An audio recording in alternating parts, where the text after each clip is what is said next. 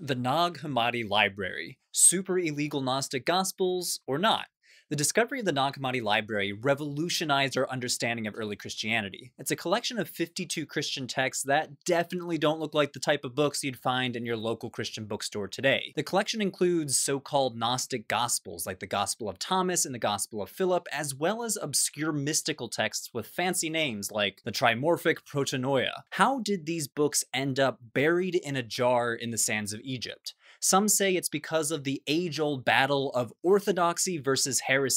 Prominent scholars of Gnosticism, such as Elaine Pagels, argue this was a stash of banned documents, an illegal library of books buried by monks trying to avoid an orthodox crackdown on heretical texts. Scholars in recent years have questioned this theory, though, saying that these books were not all that fringe, and in fact, they might have been part of a private collection of someone with an eclectic taste in Christian mysticism.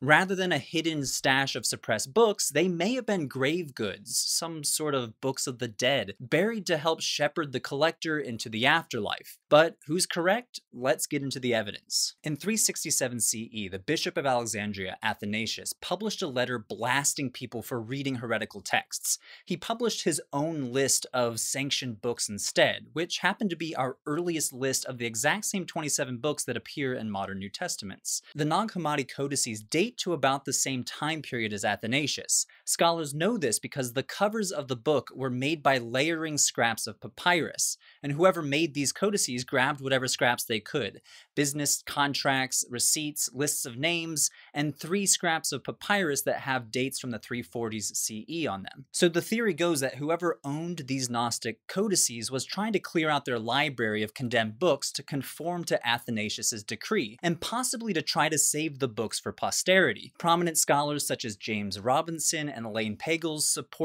this theory.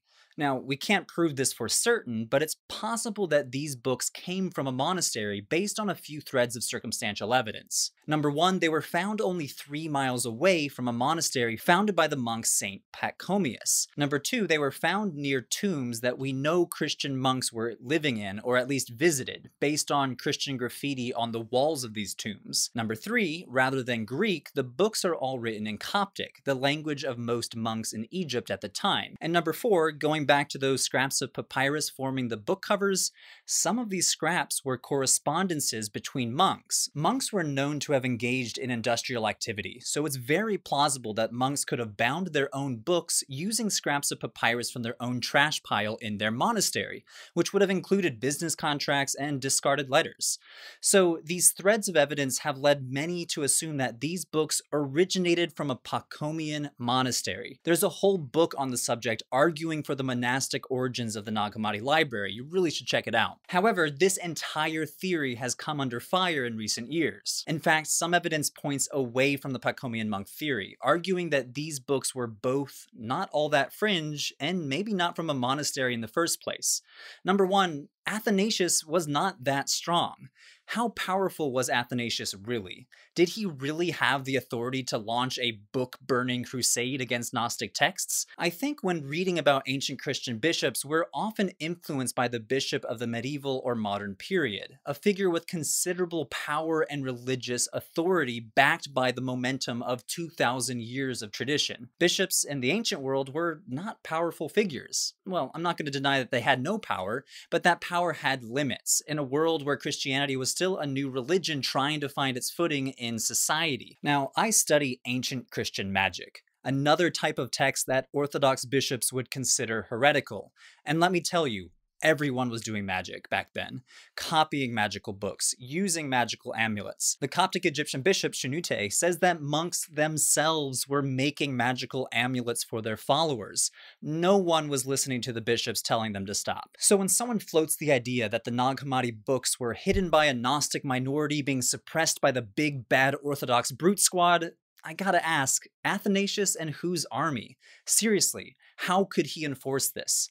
In fact, the scholar of early Christianity, Nicola Denzey Lewis, reminds us in a recent article that Athanasius was banished five times and his authority questioned numerous occasions. So rather than reading his letter of sanctioned books as a decree, let's interpret this in light of his banishments. Maybe we're witnessing the complaints of a single bishop that many people were ignoring. Also, where were these codices found? Critics of the Pachomian monk theory argue that we need to pay more attention to where these books were found.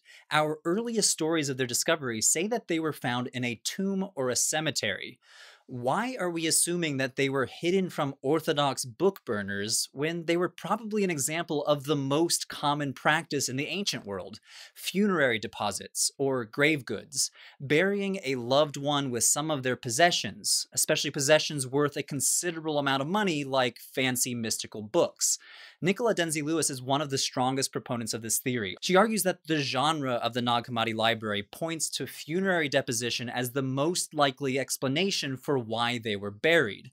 The Nag Hammadi texts are concerned with cosmology and eschatology, stories about the beginning and the end of the universe. Their genre kind of fit with books of the dead, books you'd want buried with you as you pass on to the next life. This was a known Egyptian practice, burying books of the dead in tombs with themes about the afterlife. Moreover, she argues that the evidence isn't good enough proving that these texts came from a monastery. Any trash pile in early Christian Egypt would have had the same sorts of texts that we find comprising the covers of these books. She argues that it's much more likely that some private individual with a particular interest in Gnosticism must have commissioned the books and buried them with him after he died. Here's my read on the situation. It's very possible that these books originated from a monastery. If you wanted a Coptic speaking expert that could read and copy mystical Christian books, what better person than a monk? But I'm unconvinced by the argument that the Nag Hammadi library was hidden during a crackdown from Athanasius on heretical books. We're too quick to think in terms of orthodoxy versus heresy for early Christianity. Guys like Athanasius were gatekeepers trying to define what is orthodoxy and what is heresy. But a lot of Christians, even literate Christian authorities like bishops and monks, weren't playing by the rules. Monks were writing magical texts. They they were writing, copying, and reading Gnostic texts. I don't think that there's much reason to believe that the Nag Hammadi library were fringe books. The very fact that Athanasius was so ticked off at fellow Christians for reading books like this might suggest how common these books were in the first place. I have more videos on the Nag Hammadi library headed your way, and this video took me several days to make. It was a lot of fun, but there's no way that this can be sustainable without the 170 members of our Patreon community that you can see scrolling by my right now. So if you'd like to see more from Religion for Breakfast, let's make that 171 people. Thank you so much for your continued support and more Gnosticism videos headed your way. Thanks.